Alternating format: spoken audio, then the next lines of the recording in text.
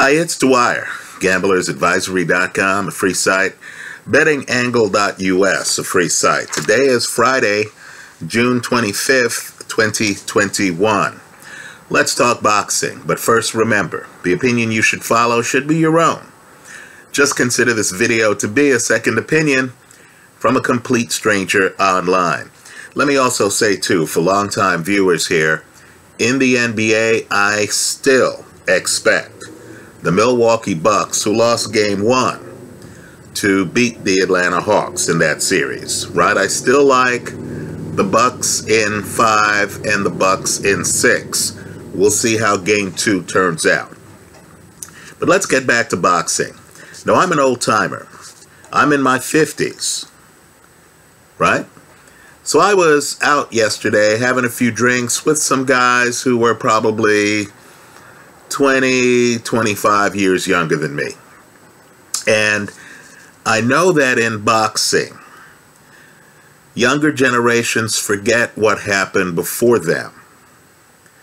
Right? So, just like today's generation might believe that LeBron James is the best ball player in history, right? They barely remember Kobe, much less Michael Jordan right? Just like I don't remember Wilt Chamberlain, right? In boxing, people's memories only go back so far. So one of the guys yesterday while we were having drinks talked about how Mike Tyson, who has a very successful podcast on the internet here, on YouTube, Hot Boxing with Mike Tyson. Um, he was trying to say that one of the reasons why Tyson was such a great podcaster, and Tyson is excellent, was because Mike Tyson during his boxing career hardly got hit. And so Mike was very uh, well spoken and eloquent. So I was sitting there and I was wondering, wow, does this guy realize that Buster Douglas hit Tyson with one of the better uppercuts in heavyweight history? I thought, does this guy realize that Lennox Lewis, a puncher, hit Tyson with a bevy of shots. How about the first Evander Holyfield fight, where Holyfield opens up the kitchen cabinet before getting the stoppage? This is before the ear-biting fight. How about the Danny Williams fight? Right? I, I challenge anyone to watch that fight and tell me Mike Tyson doesn't get hit with some huge shots. Right? So I, I understand from time to time we have to remind each other, the generations have to get together and remind people how great fighters were tested and also great things in the past that fighters have done. Now, one of the most mind blowing stats, and correct me if I'm wrong in the comment section of this YouTube video. To me, it's more impressive than Floyd Mayweather's 50 and 0 career record. Right? One of the most mind blowing stats in boxing history. Right? Mind blowing. Is the idea that in going 50 and 0, I believe officially only one judge in a Mayweather fight scored the fight for Mayweather's opponent. Right? These are the fights that went the distance. Obviously, the fights that Mayweather won by KO, and there are more of them than you think, are definitive. But in Mayweather fights that went the distance, only one judge, Tom Kaczmarek, sat through a Floyd Mayweather fight and scored the fight for his opponent. And that opponent, who won Kaczmarek's card 115 to 113, was Oscar De La Hoya. Right? By chance. I was in the sports book in Las Vegas. I used to go to Vegas more in the past than now, although I'll be back in Vegas. Right? And I would hang around the sports book. Being a a cheap SOB, I would hang around the sports book during fights because it was always festive, as you could imagine. People betting, Then they would disappear. The fight took place at the MGM in the Garden Arena, which was not far from the sports book. And I can tell you that after that fight ended, people came streaming into the sports book directly from the fight. And I can tell you that many of them, it, it, it wasn't fun. It almost looked like a riot was going to happen. Many of them were upset because they thought De La Hoya had won the fight.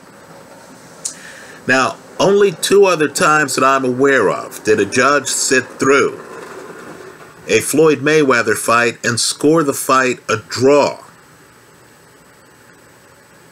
Right? Believe it or not, that didn't happen in either Castillo fight. I believe a good argument can be made that Castillo may have beaten Floyd the first fight, but that's not the way the judges saw it. No, the two guys who got draws against Floyd were Marcos Maidana, right? I mean, draws on one judge's scorecard. Floyd won these fights. One's Marcos Maidana. The other was Saul Alvarez. So understand, De La Hoya right now is having a feud with Saul Alvarez. De La Hoya has signed to return to the ring. He's going to return to the ring against Victor Belfort, an MMA guy who actually throws an excellent left hand. But I believe De La Hoya's real game because of what he's saying when he talks about Canelo right? He is breaking down Canelo's game. He's talking about what he sees as flaws in Canelo's approach. And this is a guy, of course, who used to be Canelo's promoter. I understand there's bad blood there. But I believe Oscar's real game is to work his way into a fight against Canelo right? I don't believe a boxing great, and folks need to understand that's who De La Hoya was. I don't believe a boxing great would be wasting this much capital in analyzing a fighter and making public statements if he wasn't chomping at the bit to get in the ring with Canelo. Let me also say, too, that older fighters sometimes don't realize how old they are right? They can see what another fighter's doing wrong. What they don't realize or may not realize is that now they're dealing with 40 odd year old reflexes, not 20 odd year old reflexes. Right? De La Hoya might see a way to beat Canelo, but might no longer have the physical attributes to do so. Let me also say, too, that as popular as Canelo is, and Canelo's very popular, right? You notice that there are a very large number of women at Canelo fights, right? He's very popular. But people need to understand that weigh-ins were dull. They weren't eventful until suddenly women started showing up at Oscar De La Hoya weigh-ins. Right? Understand, I believe boxing was caught off guard by this. That's when folks realized that they had to move the weigh-in to a bigger venue. And when they did, instead of dozens of women showing up at an Oscar De La Hoya weigh-in, hundreds of women started showing up at Oscar De La Hoya weigh-ins. Right? It caught boxing by surprise. It really did. Right? Let me also say this too. De La Hoya was so good that we know at least two very highly thought of opponents in major fights against De La Hoya were juicing right? We now know that Shane Mosley was on EPO at a minimum. um, a performance enhancer, a doper that's outlawed at the Olympics. When he fought De La Hoya, I believe in the rematch. We also know that El Feroz, Fernando Vargas, who wanted a fight with De La Hoya for years, got one, enters the ring with Julio Cesar Chavez. We now know that El Feroz failed a post-fight drug test. In other words, De La Hoya was so good that some of his fiercest rivals tried to cut corners to beat him. Let me also say this too. I want you to look at De La Hoya's record carefully. I can tell you, being in my 50s, having been awake when I was younger during the De La Hoya era, not a toddler, but someone who actually was going to Vegas for De La Hoya fights, I can tell you that De La Hoya, in my eyes, clearly beats, and I mean clearly beats, Shane Mosley. I know this is not what Brian Kenny and Max Kellerman said during the live telecast, but on my scorecard, it's not close. He schooled Shane Mosley in the rematch. We'll give Shane the first fight. I thought Mosley clearly lost the rematch. There are two schools of thought on the De La Hoya Felix Trinidad fight. Understand, both agree. De La Hoya is winning that fight with three rounds to go. Right? De La Hoya is clearly outboxing Felix Trinidad. Understand, De La Hoya had legs. So De La Hoya could dance, he could move. Trinidad, by contrast, was robotic. Understand, too.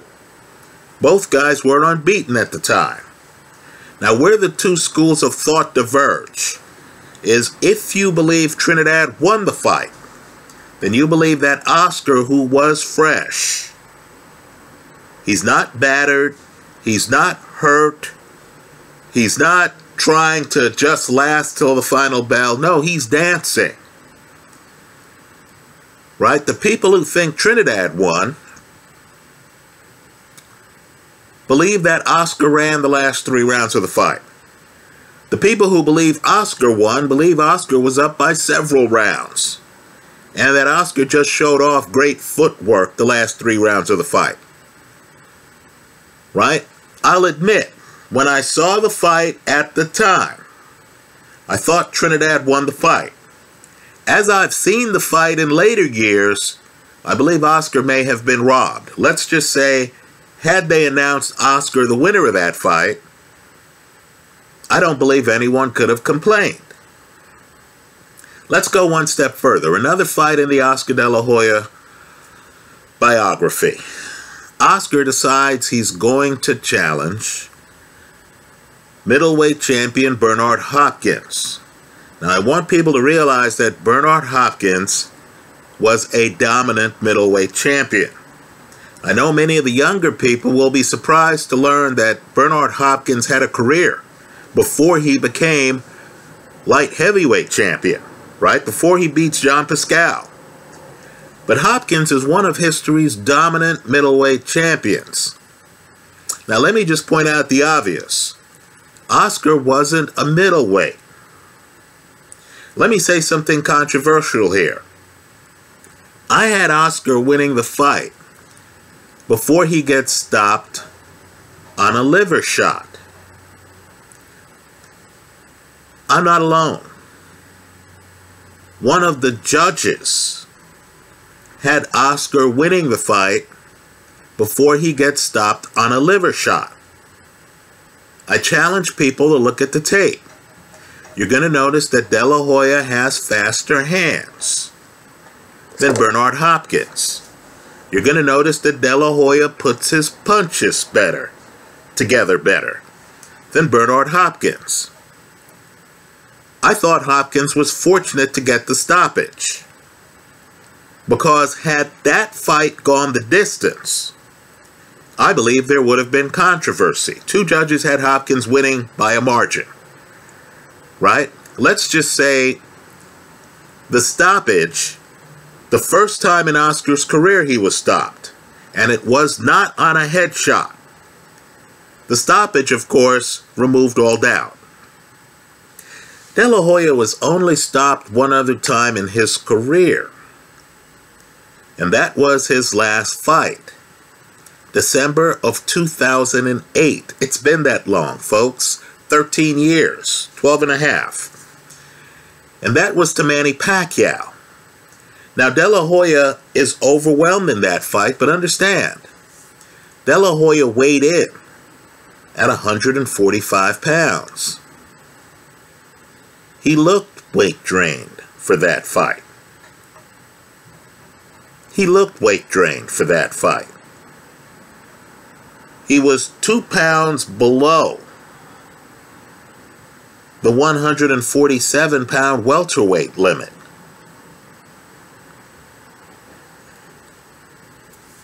That fight ends with De La Hoya retiring in his corner. Pacquiao was dominant. That's a masterpiece fight. That's a reference point in boxing. But here again, in terms of De La Hoya's chin, he was stopped not by getting hit and dropped, but by getting outworked and tiring. Right? So understand, De La Hoya has a great resume. How does he win the Fernando Vargas fight? By stoppage. Right? De La Hoya has a great resume. De La Hoya also had some moments where I know the scorecards don't reflect this, but at the time, when the 12th round started against Ike Quartey, I'm telling you, having seen it on TV live, right, the feeling was the winner of the 12th round was going to be the winner of the fight. De La Hoya mixes it up with Ike Quartey, very dangerous fighter, and drops him in the round. Right? De La Hoya really was a Hall of Fame boxer. I know many people consider him to be a promoter and stuff like that. Don't sleep on his credentials. Somebody yesterday, as I was out with a group of guys at the bar, said, Why do they call De La Hoya the Golden Boy? I looked at the young guy and I had to explain to him that De La Hoya was the Olympic gold medal winner he was unaware. Right? Let me just say the problem I have with De La Hoya fighting Victor Belfort, and it is a problem, and it's one you need to look at carefully. Right? First is that we all live different lives outside of our profession. De La Hoya really was a Tiger Woods figure. And by that I mean he had a certain image in public that was different than his behavior in private. Right? De La Hoya was involved with, we'll call it self employed models. Uh, De La Hoya uh, may have taken uh, illegal substances. There might have been addiction issues. I'm not sure. But let's just say I know that De La Hoya outside the ring didn't have the reputation that someone like Canelo has of staying in the gym, right? Of living a life dedicated to his profession. That wasn't Oscar, nor was that Ray Leonard, nor was that Carlos Monzon, right? what we call a professional now has changed. Right? Back in the day, a fighter like Ali, and I'm naming great fighters, a fighter like Ali could show up to a press conference with a woman who he was with. Some reporters, knowing Ali was married, could assume that the woman was Ali's wife and then find out that she wasn't right? Understand, fighters used to have private lives. I mean, very private. Right? Fighters used to sometimes gain a lot of weight between fights.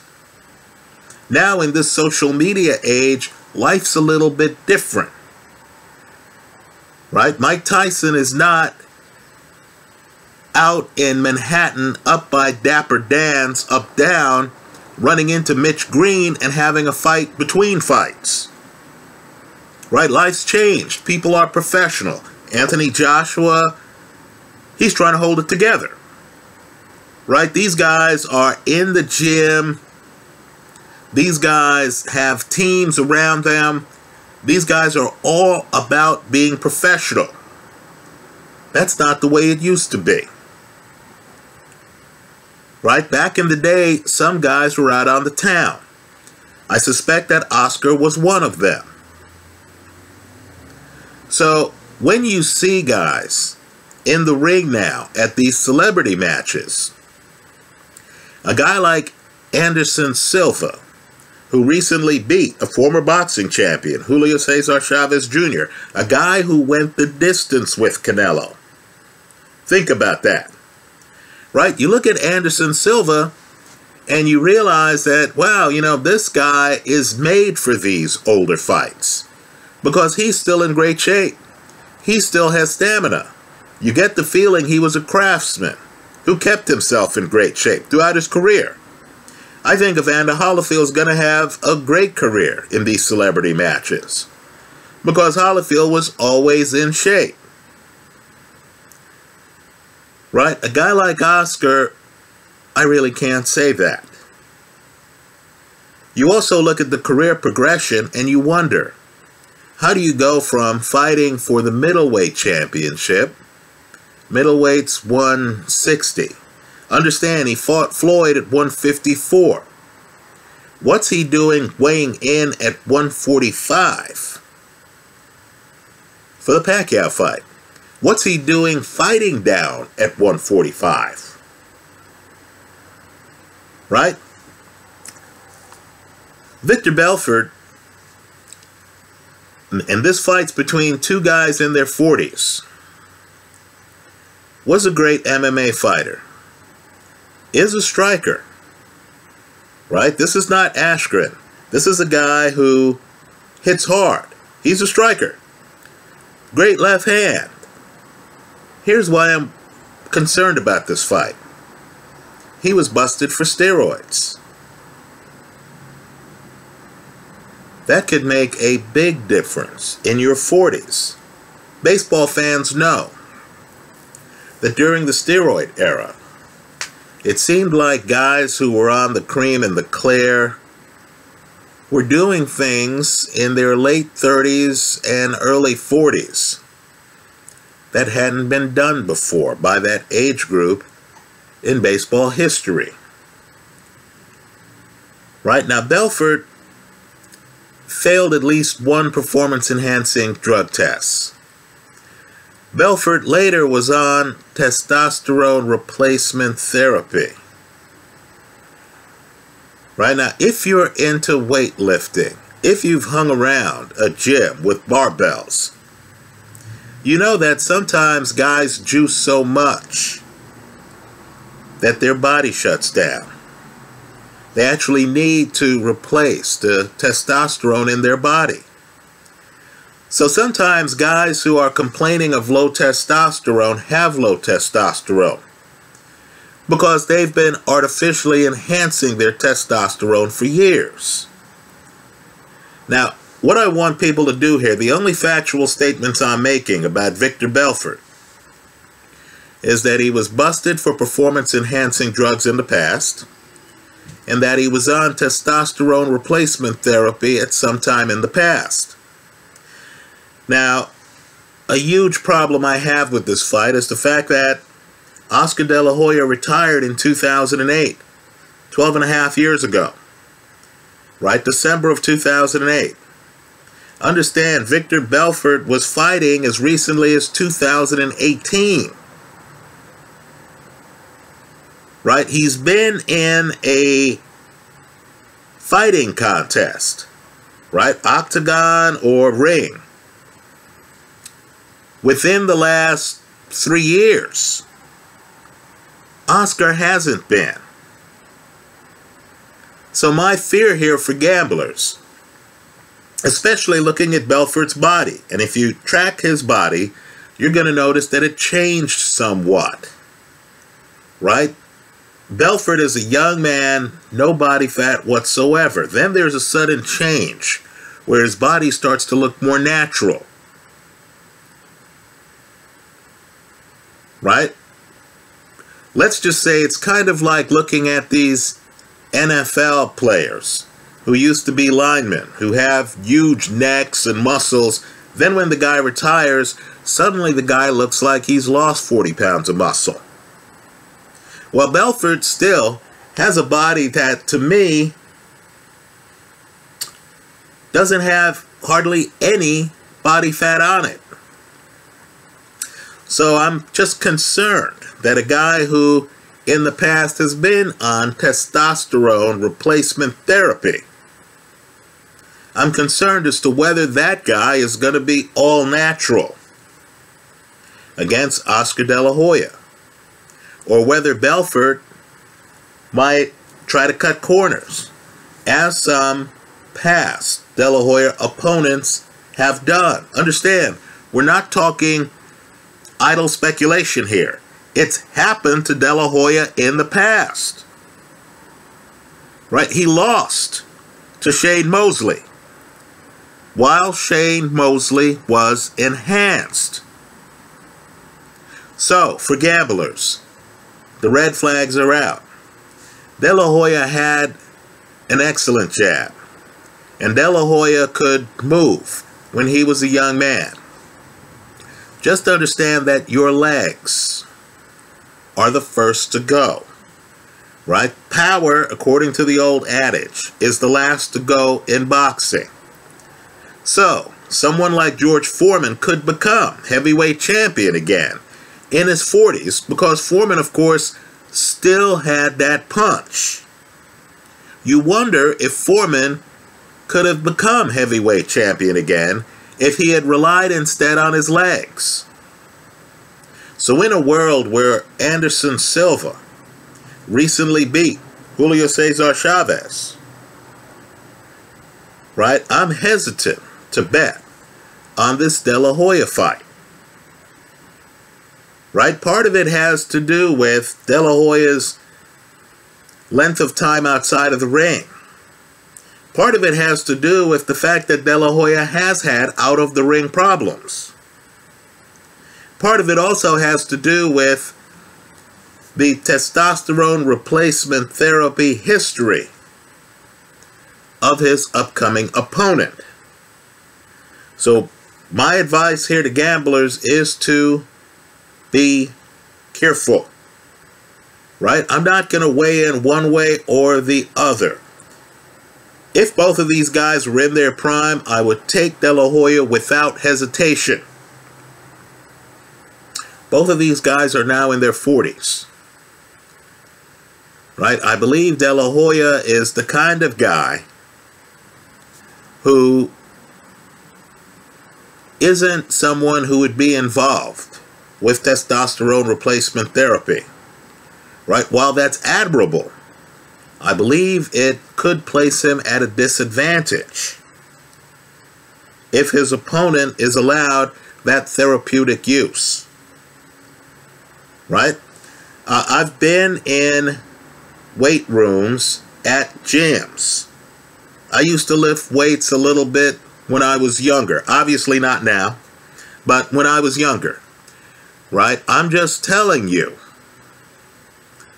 that a guy who's a regular weightlifter who is on testosterone replacement therapy might be in better shape than a guy who isn't. And understand, while everyone's in great shape in their 20s, in these fights involving guys in their 40s, the edge might go to the person who has kept themselves in great shape, who fought within the last three years, right? Who might be on testosterone replacement therapy now. I want the boxing press, I want the MMA press to ask the hard questions of both of these men in the lead up to the fight. Right? So, as much as I like Oscar De La Hoya, and let me tell you, folks, he was a great fighter. Right? A great fighter. I didn't think he beat Pernell Whitaker, but let's just say he had his moments in that fight. Whitaker might not have had enough offense. Right? This is a guy who fought. Genaro Hernandez. Right? Excellent fighter. Julio Cesar Chavez. Okay. Chavez was older. All right, fine. Pernell Whitaker. Felix Trinidad. Shane Mosley. Bernard Hopkins. El Feroz. Fernando Vargas. Ike Quartey. Manny Pacquiao. De La Hoya didn't always come out on top. But let's just say you have to use both hands when you're talking about his biggest fights. Right? So, while I'm interested in seeing how the fight turns out, this is a fight where I'm going to be on the sidelines. That's how I see it. Let me hear from you. I'm not betting this fight. In the comment section of this video, tell us how you're playing it. I look forward to your comments. Thanks for stopping by.